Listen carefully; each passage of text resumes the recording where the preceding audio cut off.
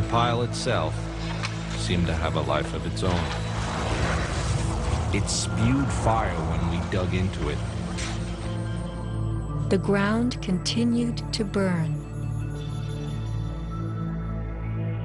Les Robertson publicly reported that three weeks after the collapse, live fires burned and molten metal still flowed underground.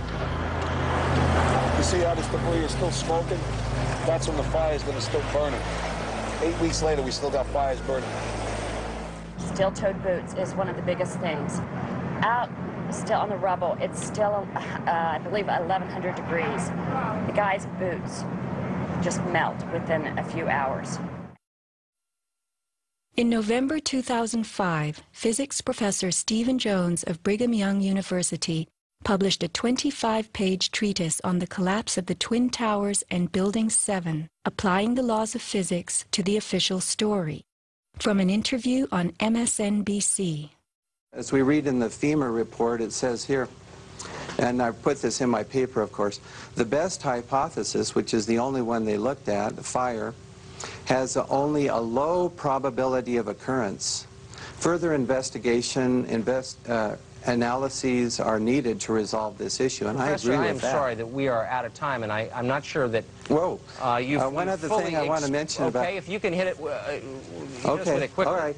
There, there, okay, here we go. Molten metal in the basements of all three buildings. Right. And yet, uh, all scientists now uh, uh, reasonably uh, agree that the fires were not sufficiently hot to melt the steel. So what is this molten metal? It's a direct evidence for the use of uh, high-temperature explosives such as thermite. Thermite produces uh, molten iron as, a, as an end product. Okay. We appreciate your coming on, even if I don't understand right. your theories. Uh, we appreciate you trying to explain them. Thanks. Professor Jones barely got in his mention of thermite. An incendiary used by the military, thermite is a compound of iron oxide and aluminum, which when ignited sustains an extreme heat reaction, creating molten iron. In just two seconds, thermite can reach temperatures over 4,500 degrees Fahrenheit, quite enough to liquefy steel. This is thermite melting the engine of a car. We know that open-air fires cannot burn hot enough to melt steel, but metal had melted at the base of the towers. The second product of a thermite reaction is aluminum oxide, visible as white smoke. Was thermite used in conjunction with explosives on September 11th?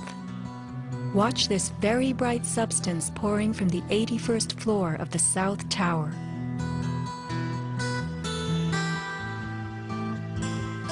And white smoke appeared at the base of the building.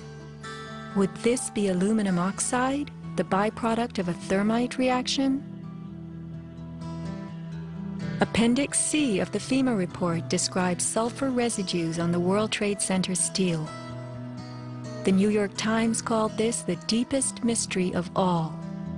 Sulfur slightly lowers the melting point of iron, and iron oxide and iron sulfide had formed on the surface of the structural steel.